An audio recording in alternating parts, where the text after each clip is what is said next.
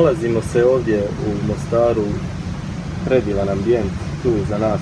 Radobolja protiče, a isto tako slobodno mogu reći s nama u društvu jedan jako zanimljiv gost, možemo reći i naš domaćin, pošto on više iz Mostara nego što smo kolega kamerman i ja, gospodin Sulejman Tabaković, čovjek koji već dugo godina živi u Zagrebu, ali koji je rodom naš čovjek iz Bosne i Hercegovine, možemo to tako reći, ali evo da ja ne bi previše dužio, možda da vi za ovaj uvod sami kažete koju riječ o sebi, jer u Hrvatskoj ste jako dobro poznata osoba, ovdje ipak u svojoj Bosni i Hercegovini nešto malo manje.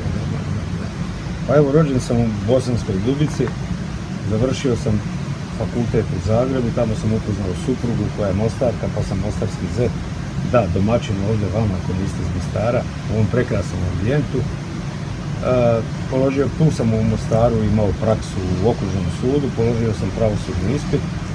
Nakon par godina rada u gospodarstvu, e, zaposlio sam se na nekakvom natječaju ponovljenom šestom u izvršnom vijeću Socijalističke republike Hrvatske 3.11.87. godine i od tada sam u de facto u državnoj upravi Hrvatske do današnjeg dana gdje radim u Ministarstvu uprave.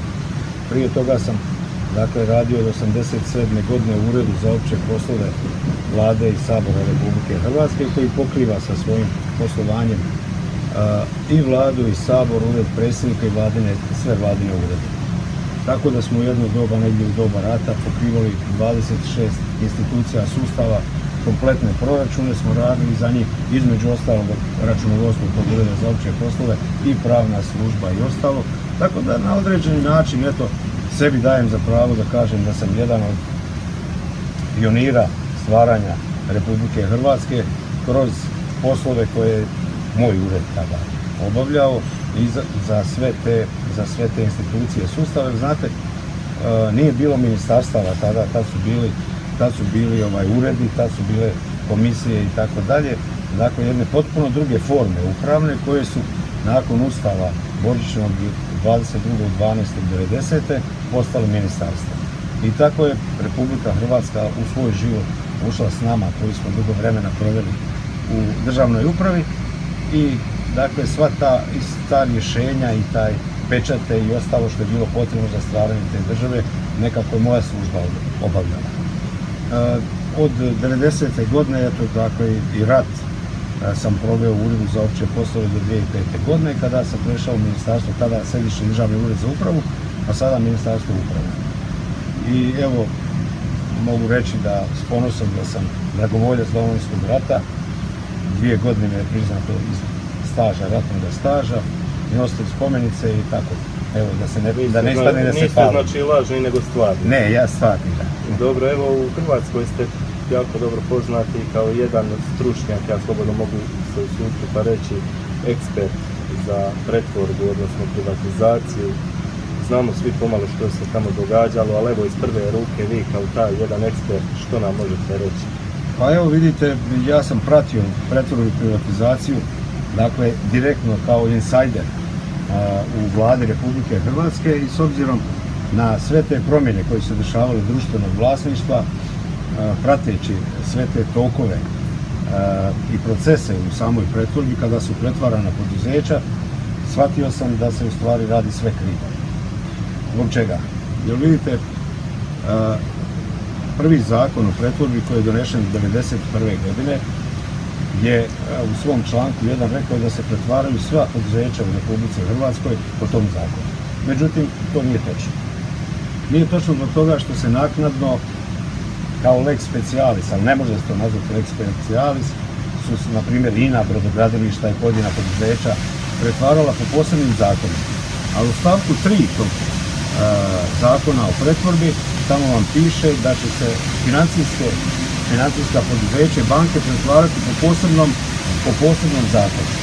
Samim tim je izvršen novi atak na proces pretvorbe zbog toga što su banke jedino mogle biti osnovane putem poduzeća. Prema tome, da bi neko poduzeće pretvorili, njegov temeljni kapital da bi stvorili, morali ste dakle pretvoriti same banke, utvoriti njihovu vrijednost i unijeti temeljni kapital poduzeća. To se nije napravilo, već su banke kada pretvorene, niti su privatizirane, banke su opljačkane od svojih vlasnika, poduzeća, a poduzeća su dakle bilo u vlasništvu građana.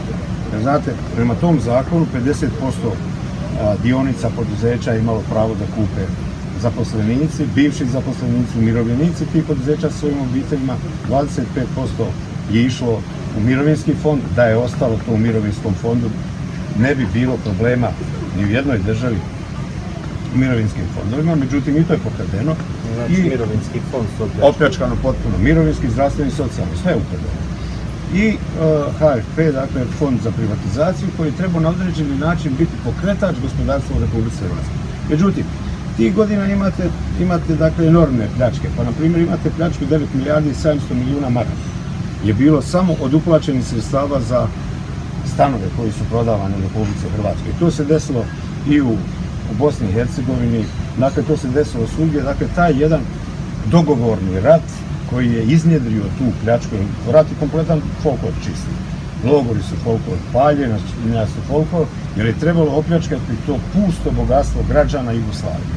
Hrvatske posebno, Bosne posebno, koji su izuzetno bogate. Hrvatska je bila lokomotiva Jugoslavije. Sa u gospodarstvu Hrvatska je imala 96 pikova, dakle, ako ne znaju vaši, vaši ovaj, e, čitatelji, dakle, to su poljoprivredni kombinati koji su imali zatvorenu proizvodnju od oranice pa sve do završni, završne onda svega što smo izvozili van. E, tako je bilo u Bosni i Hercegovini, dakle Hrvatska je imala i tu svoju petrokemiju koja je upravo radila u interesu tih pikova.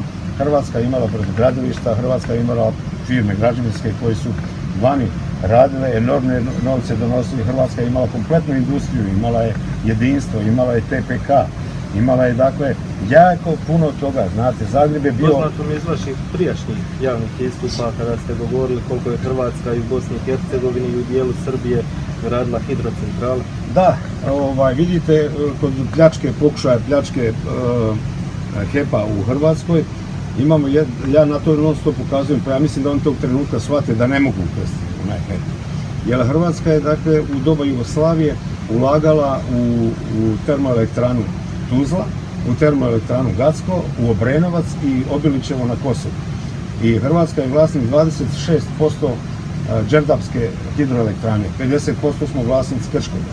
Dakle, to se sve zaboravlja, pokušava se dakle privatizirati HEP na način da se ukradu dionice, ukradu dionice, a ovo sve ostalo kao kruške da padne unutra. E, neće ići.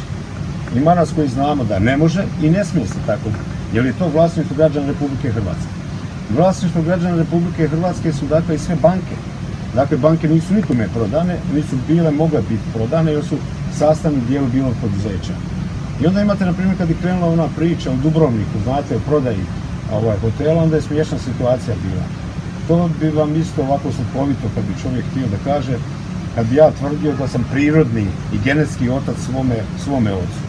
Tako isto, znate. Prodaje banka, Dubrovačka banka prodaje hotele, a hoteli vlasnici banke. Sad imate jednu interesantnu situaciju, da niko nije postavio pitanje, za li to moguće? E sad vidite, kad smo mi postavili ta pitanja, onda je došlo malo eto tako do čitave priče da se te, ti hoteli, ta poduzeća odvedu u stečeve da bi se dakle nešto opljačkalo. Šta imamo? Dakle, imamo tu situaciju da području Jugoslavije i ovdje sve ta društvena imovina nije mogla preći u vlasništvo države. Jer država nije ništa nacionalizirala. Država nije donijela zakon o nacionalizaciji. Imate jedan interesantan uh, slučaj kada je bivši zamjenik od Bajića Jadranko Jug napisao jedan zahtjev Ustavnom sudu 2006. godine i tvrdio da se ex lege po sili zakona temeljem članka 47 zakona o privatizaciji, a na temelju članka 3 iz 1991. godine može smatrati da su da su ovaj uh, poljoprivredno zemljište u Republici Hrvatskoj postalo vlasništvo Republike Hrvatske. Notorna laž. A onda imate u 12. godini da je Sabor donio autentično tumačenje da je člankom, uh, člankom, uh, pardon, člankom 16 Zakona o poljoprivrednom zemljištu člankom 3 Zakona o šumama postala država vlasnik šuma. Opet notorna laž. Ali zašto? Da bi država mogla kao vraćati grofovima, crkvi i ostalima, kojima ona hoće, jel? Ekipa. Koliko je Udba imala ili još uvijek danas ima svoje prste u svemu tomu? Pa gledajte, Udba je vrlo jedna ovako interesantna, interesantna priča. Znate, Udba je nestala tamo od odlasku Brankovića. Međutim, ta neka treća liga ljudi koji su radili u tim sustavima su de facto a, napravili tu jednu, jed- jednu mrežu koja je u doba ovoga rata odradila jako. To, to se mora priznati, jer to su ipak ljudi koji su bili povezani u određenom sustavu. Znate,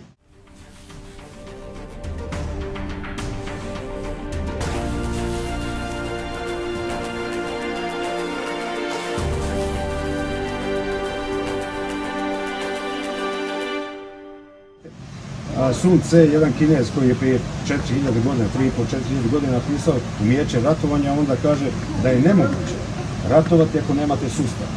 E sad, kako je kakav je to rat bio ako je e, Hrvatska e, SDK plaćanje vršila i banke sa Srbijom, a mi ratujemo između, s Bosnom i tako dalje.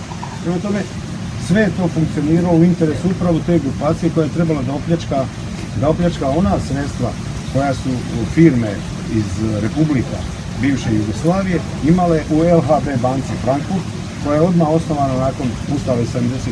godine, pa su onda osnovane i ovaj, AG Beč, pa je osnovana ovaj, banka Cilik, banka Jugoslavija u, u, u Parizu i banka London, koji su dakle premrežene na kompletan svijet sa offshore Zapravo kompanijama. hoćete reći sredina 70-ih je početak te Da, velike točno, pljačke. točno. To je postavljena priča za pljačku. Da. Jer je tada jako puno novca bilo u tim bankama.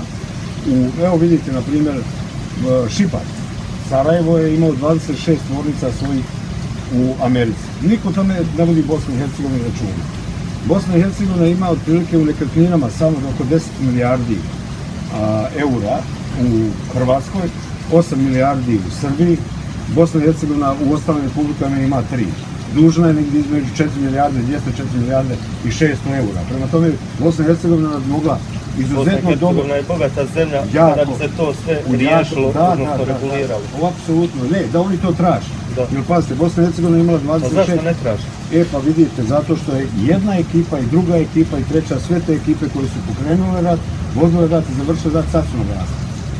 Dakle, njima Naravno, nije u i interesu... surađuju. Tako, i dalje surađuju, njima nije u interesu. Evo vidite, na primjer, Energo Petrol ima 26 pumpi u, u Hrvatskoj zajedno sa dva velika tanka. Jedan je u Pločama, drugi je u Lipovljanima, pored Zagreba. Dakle, Bosna i Hercegovina ne traži svoje pumpe, ali i INA je imala određene pumpi u Hrvatskoj. Dakle, ta ekipa koja je za dob, u doba rata zaposlila društvenu imovinu, oni koji su to stvorili, oni to uživaju i nikome ne u interesu, znate, vi vidite da Zagreb i, i, i Sarajevo ne razgovaraju o vlasništvu. Oni razgovaraju o pitanjima, o pitanjima nacionalnim, po navodnicima, jel, o tome koji narod treba zaštititi, a narod se može jedino zaštiti ako zna svoje vlasništvo. Dakle, da je Zagrebu stalo da zaštiti e, građane e, Republike Bosne i Hercegovine za koje oni tvrde da su to ovaj, Hrvati pripadaju dakle tom korpusu, bez obzira što su oni ovdje autohtoni narod i ovaj i konstitutivni narod, tu živi 500 godina, već ako hoće nešto da zaštiti, onda bi trebalo zaštiti njegovo vlasništvo. Ali taj isti narod je ovdje opljačkan od svojih prvaka.